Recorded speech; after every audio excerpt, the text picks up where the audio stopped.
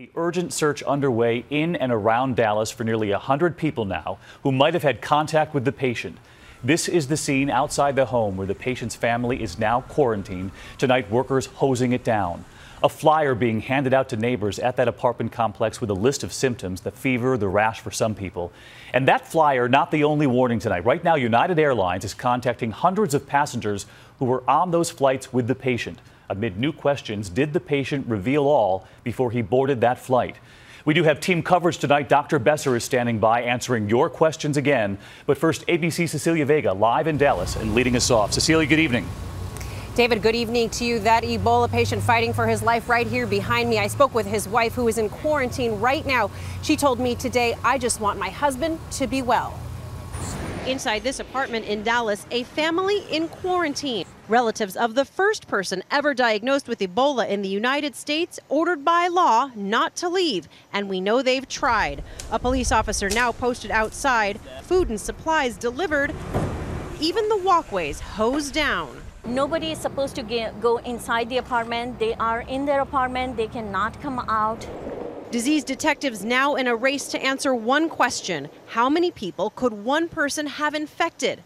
Their investigation starts here with Thomas Eric Duncan in isolation at this Dallas hospital. He is patient zero. The CDC now tracking 100 people he may have come into contact with. First, the doctors and nurses who treated him. Then, the three paramedics who brought him in by ambulance. That web expanding to anyone Duncan encountered, even briefly, including eight children. Anyone who visited that apartment. Those at highest risk, his relatives now quarantined inside. About a dozen people will have their temperatures monitored for 21 days. And if any one of them exhibits symptoms, the chain begins again, this time retracing all of their contacts.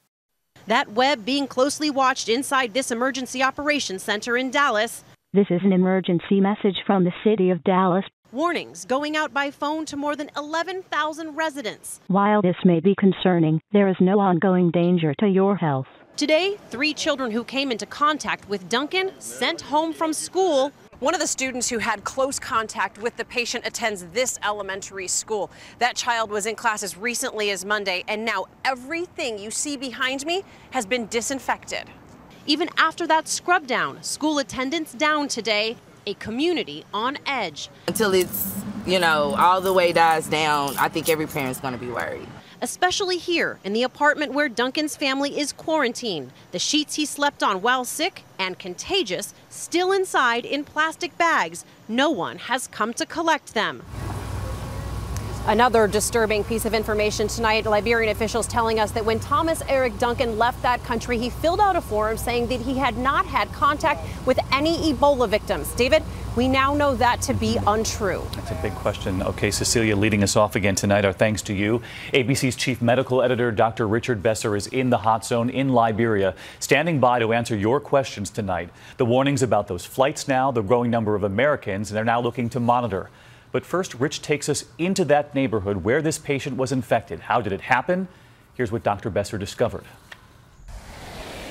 The story of Ebola in America starts here, in this neighborhood. I'm in a small courtyard. This is where Thomas Eric Duncan lived. He's the man who brought Ebola to Texas. In the late afternoon, he walks a quarter mile to this local health clinic. He's checking in on his neighbor, Marthalene, 19 and pregnant. She's very sick. Nurses there showing us her chart. So she had weakness, poor appetite. Yeah, according to the model. Yeah. She fainted. When Duncan arrives, the situation is grim. Marthalene was not getting better. Her pressure was low. She was anemic. She had malaria. They said she needed to go to the hospital. So they called for help. They called for a car. Duncan helps lift Marthalene into the taxi and climbs in with her. 20 minutes later, they arrive at the Ebola Treatment Center at JFK Hospital, a place where patients waiting, desperate to get in. No room for Marthalene. They set off again, driving to the ELWA 2 clinic a half hour away. No room there either. They turn back home, returning here to their neighborhood. Eric Duncan helped her from the car. They went right from here all the way down to her house, that greenhouse right there, and he helped her back to the house. Later that night, she died from Ebola. And by then, Thomas Eric Duncan has Ebola too. And Dr. Besser is with us now. That was just incredible, Rich, retracing the steps as he tried to help a neighbor there. And, and, let's get right to the question so many viewers are asking here at home. First, that number tonight. They're now looking for up to 100 people he might have come in contact with here in the U.S. That number far higher than we were talking about last night here. What do you make of it, Rich? Well, it's, it's a frightening number, but when you're doing one of these investigations, you want to cast a very wide net. So you start with people who had very close contact but then you expand to those who may have had casual contact to, just to make sure that they're going to be safe. And Rich, you heard us report there that United Airlines is now reaching out to hundreds of passengers who were on those flights. You have said that those flights were likely very safe. Is this simply an abundance of caution?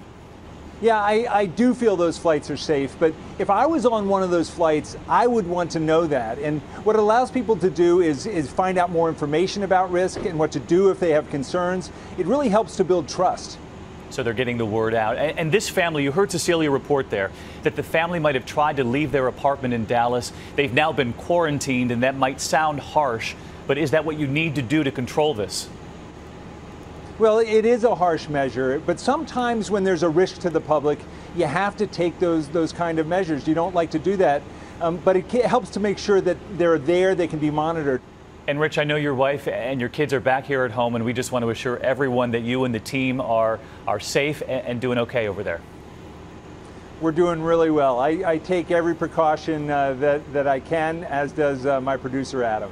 All right, Rich Besser with us again tonight. Our thanks to you, Rich, and to our producer, Adam, right there in Liberia.